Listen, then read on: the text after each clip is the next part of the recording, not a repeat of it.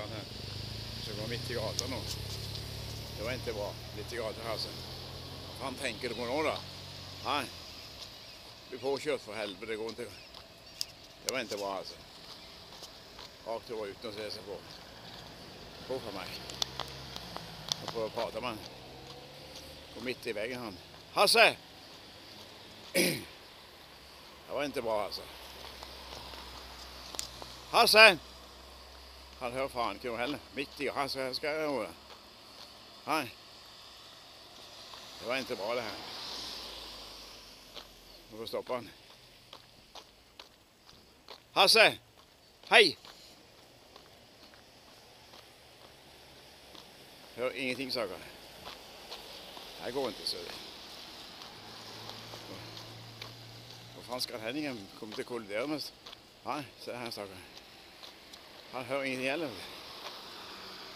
Hasse! Hasse, hei! Du kan ikke gå midt i veien. Du må gå, på- forbannat. du må gå på trottoaren. Vinter. Vinter? Ja, men det.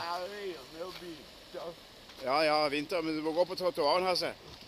Du må gå på trottoaren. Og jeg har tid. Nei! Pass deg, da. Det er farlig, vet du. Du kan ikke gå på Der går ikke Hasse blir påkjørt. Hasse. Du kan få en kopp kaffe av meg. Kom nå. Hasse, kom her, da. Nei, du skal ikke snakke til ham. Faen, altså. Hvor skal jeg gå, da? Hasse, kom her, da. Han lysner faen ikke på det. Nei. Huff a meg. Det var skummelt, det. Håper jeg går på trottoaren her, da. Skal jeg gå ut i gata her òg, da?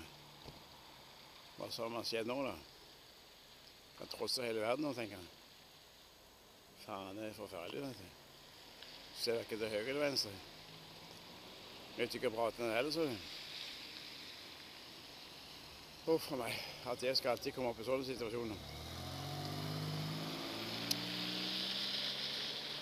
Håper, håper folk kjenner den igjen, så de ikke kjører på en farlig det her spillet. Men se her, så her går det. Her er midt i veien. Faen, altså. Svinger den av det? Nei. Jo.